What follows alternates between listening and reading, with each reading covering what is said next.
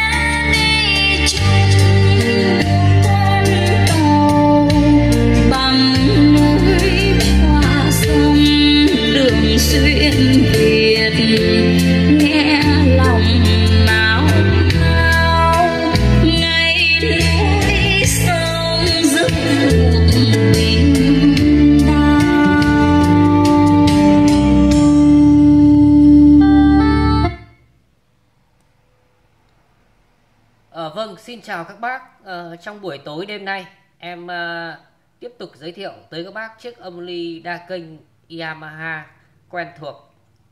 À, đây là chiếc DSP AX8.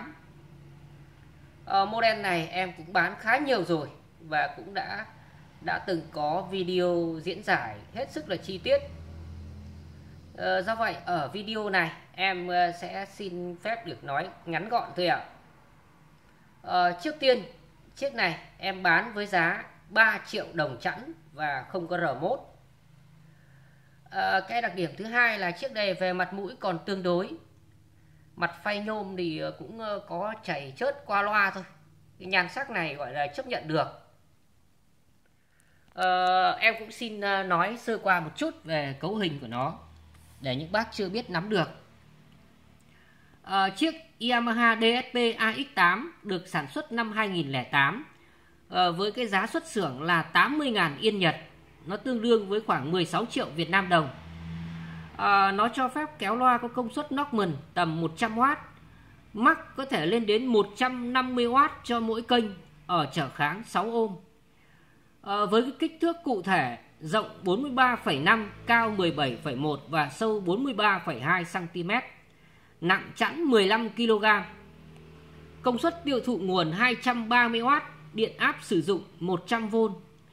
Chip uh, Mega DSP giải mã DSP tự thân là 32 bit.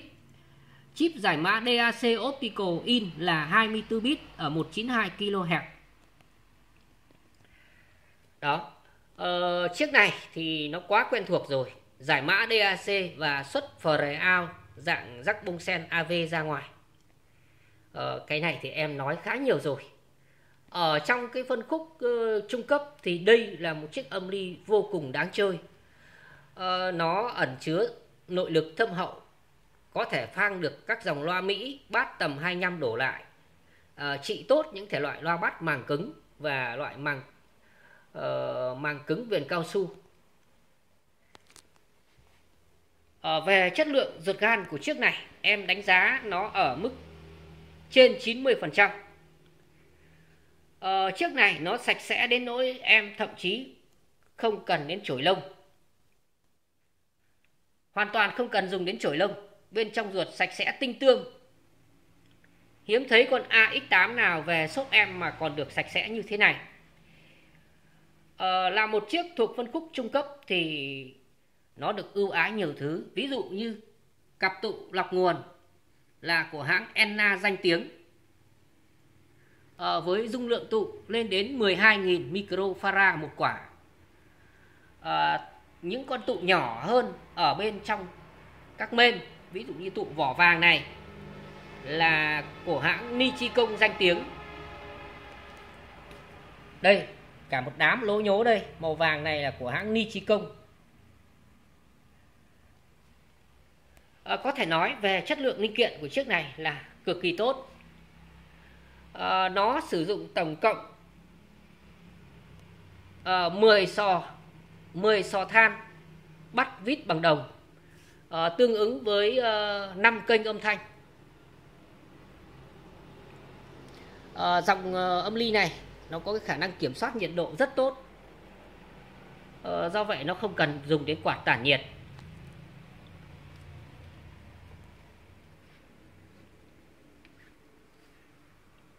À, nó có tổng cộng đến ờ, 4 đường optical in và một đường optical out. Giải mã ở đúng chuẩn 24 bit. À, là một chiếc âm ly thuộc dòng receiver. Chắc chắn nó sẽ có tích hợp thu sóng FM và AM nhưng đây là phiên bản sử dụng trong nước Nhật thì FM nó chỉ đến 90 MHz khi về tới Việt Nam nó sẽ không có giá trị sử dụng gì nhiều. À, các kết nối sắc bông sen AV rất rất nhiều điểm mạnh của chiếc này là các bác hoàn toàn có thể sử dụng nó như một chiếc đầu giải mã DAC chuyên nghiệp và cao cấp Ờ, đây là những đường xuất Fre out. Nếu như các bác không muốn sử dụng nó như một chiếc âm ly thông thường, các bác có thể dùng nó như một đầu giải mã DAC. À, ờ, công việc đơn giản lắm, các bác chỉ việc đưa đường quang vào một trong những cái ngõ này và đường ra các bác lấy ở hai cái rắc có chữ main này. Đó. Thì ngay lập tức chiếc âm ly này sẽ biến thành một chiếc đầu giải mã DAC chuyên nghiệp cho phép chúng ta nâng hạ volume đầu ra, cho phép chúng ta chỉnh bát chắc đầu ra thoải mái Điều mà tất cả những chiếc đầu giải mã DAC hiện có trên thị trường không thể làm được. À, đây là thông số chính. Yamaha DSP AX8 Công suất tiêu thụ nguồn 230W, điện áp sử dụng 100V. Made in Malaysia, sản xuất tại Malaysia. À, số series có cái đuôi là 4970XZ à,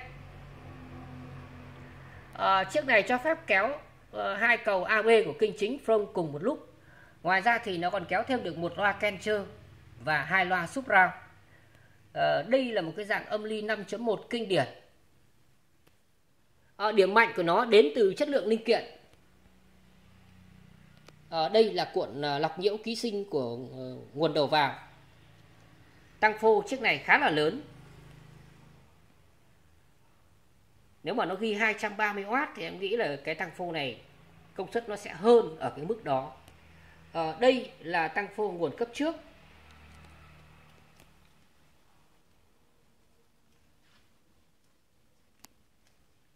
Cái bo mà ở ngoài cùng mà được bịt kín ở trong một cái hộp thiếc này. Đó chính là bo giải mã DAC 24 bit. À, tất cả những cái đường uh, truyền dẫn uh, âm thanh quan trọng ở chiếc này đều được bọc một lớp bạc. Đó các bác nhìn thấy cái đường dẫn từ bo giải mã DAC ra cái bo xử lý ờ, uh, phre này chưa? Đó bọc bạc rất kỹ càng. Vâng cái con chip to thô lố ngay trước mắt các bác đó chính là con chip phre con chip phre out đấy ạ để xuất ra cái đầu rắc bông sen AV đấy ạ. Ở trước này thì em đã nói về nó rất nhiều lần rồi. Các bác chắc nắm đã kỹ rồi những bác đã từng theo dõi kênh của em chắc uh, đã nắm được rồi. Do vậy em không nhắc lại nhiều nữa. Uh, về cái giao diện sử dụng thì chiếc này nó vô cùng đơn giản. Nó có hai cái chiếc áp cơ chỉnh bát chắc ngay phía trước mặt. Kể cả những bác tay mơ chưa sử dụng âm ly đa kênh bao giờ à, khi tiếp xúc với chiếc này cũng chỉ mất khoảng 10 phút để làm quen. À, đây là nút tăng bát hay còn gọi là nút ờ, uh, vào bát đấy ạ. Mặt âm ly là phay nhôm khá là dày. À, những cái đường uh, rắc uh, bông sen phía trước mặt được mạ vàng. Có luôn cả đường optical in ở ngay đằng trước mặt để tiện cho cái việc cắm nối đấy ạ. À, đây là vỏ nắp. Cũng có xuất hiện ờ, vết móp nhẹ nhưng mà vỏ nắp này là tương đối không đến nỗi không đến nỗi nào. À, bây giờ em ờ, xin mời các bác chúng ta nghe một đoạn nhạc mà em test bằng đường optical.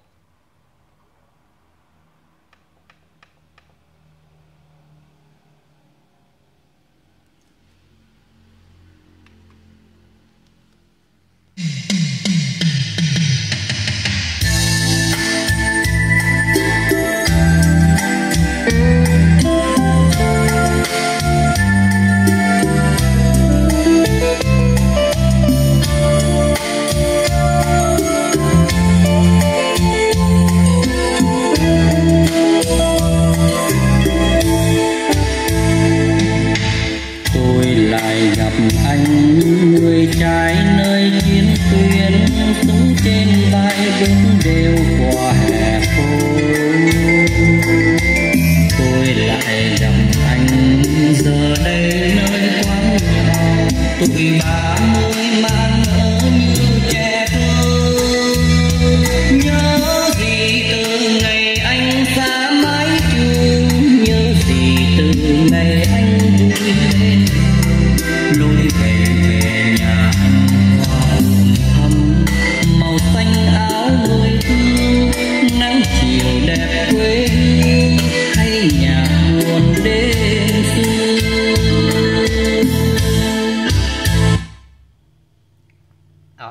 thấy đó ờ, chất âm của thằng Yamaha từ xưa đến nay luôn rất uy lực bát rất căng và rất gọn. Ờ, nó có năng khiếu trị được các loại ờ, loa bát màng cứng viền cao su. Còn tất nhiên thì nó cũng ờ, đánh những cái loại loa màng giấy viền mút bình thường không có vấn đề gì. Ở trên video này em đang sử dụng cái cặp này công suất không hề nhỏ 150W một thùng đấy ạ. à, Ờ, vâng bác nào có nhu cầu muốn sở hữu chiếc âm ly này, xin liên hệ trực tiếp với em theo cái số điện thoại em để ở dưới chú thích video. Xin cảm ơn các bác đã dành thời gian cho video này.